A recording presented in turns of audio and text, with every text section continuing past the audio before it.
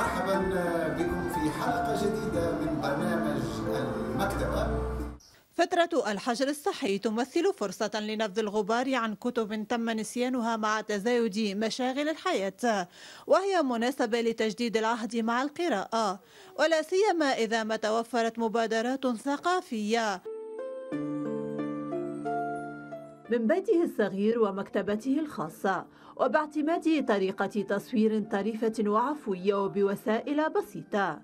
سافر الروائي التونسي كمال الرياح خلال فترة الحجر الصحي ومعه آلاف المتابعين.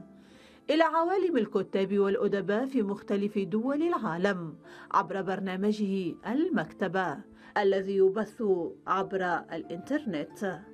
برنامج المكتبة هو برنامج يعنى أساسا بالكتاب بشتى أنواعه وخاصة الكتاب الثقافي والغاية منه غايات كثيرة في الحقيقة من ضمنها التشجيع على المطالعة ويعني تغيير واقع المقروئية في العالم العربي.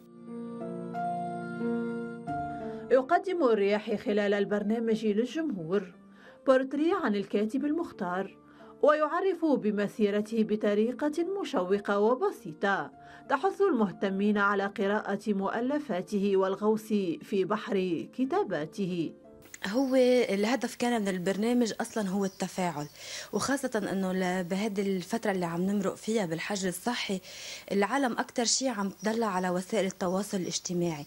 من هون بدت الفكرة لما نحن طرحنا أول أول حلقة كانت هي عبارة عن بورتري آه، ومن بعد لما لقينا التفاعل العالم هي اللي صارت تطلب الحوارات.